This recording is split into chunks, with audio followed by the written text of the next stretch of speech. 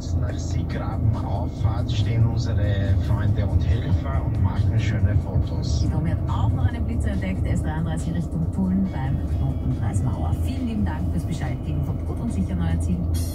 Im Blickpunkt auf 88.6. Risse in Wänden sind oft Hinweise auf Setzungen im Erdreich. Was die Ursachen dafür sind, erklärt ein Mitarbeiter der technischen Abteilung der Firma Uretech.